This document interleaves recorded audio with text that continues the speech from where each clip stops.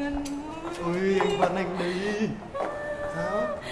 Sao anh piano lại đánh tông thấp hơn em đời, lắm luôn rồi đời lắm luôn rồi anh đánh làm em bị hát thấp rồi dữ đền đi không Có chịu đúng đâu. Không? Hay là do- thật mà. Hát thấp.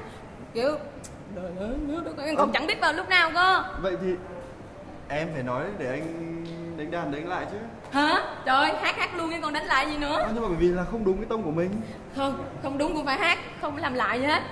Nhưng mà bất bất bất xúc lắm. Ồ, thì em phải thể hiện ngay bởi vì em phải hiểu là mình chỉ có một cơ hội duy nhất thôi mà.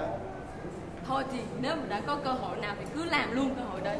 Ừ, biết đâu nó không có lần thứ hai thì sao? Em có quyền đề nghị là đánh theo đúng tông của em cơ mà không phải tại vì lúc sáng nay ý, tập thì đúng rồi mà không hiểu sao chiều nay anh lại đánh như vậy nữa. Đó mới là vấn đề. Thì nhưng mà em có quyền dừng lại và yêu cầu là anh đánh đúng tông của em anh đánh là đánh sai tông của em rồi. Có thể là do một sự nhầm lẫn anh ấy.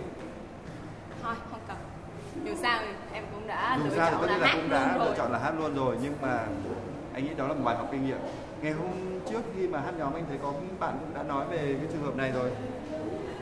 Vâng. à không em biết cái trường hợp đấy rồi trường hợp đấy chẳng qua là mấy bạn chưa đứng dáng để nhảy nhảy thôi. Thì đã đánh rồi. Ừ thì mình có thể bỏ nguyên cả đoạn nhảy đấy và mình nhảy lại. Còn đây là em thi hát không phải thi nhảy. Và em phải hát đúng tông của em.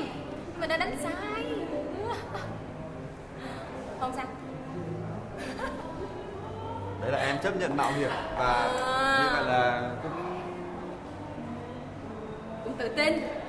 Nhưng mà dù sao vẫn tự tin đúng không thôi quan trọng là như thế. Anh chúc em may mắn đi lucky. Thôi chúc em may mắn. Thank you